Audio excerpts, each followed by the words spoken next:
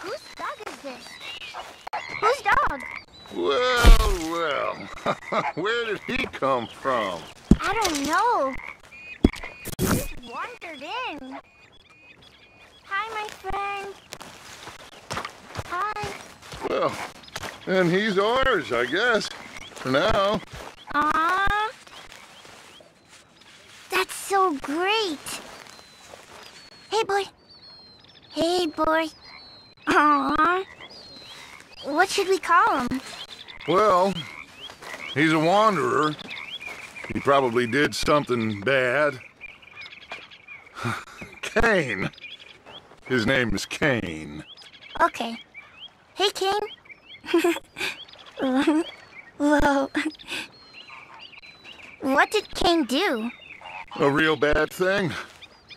So he never stopped wandering.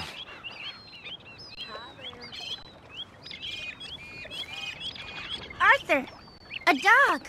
A dog!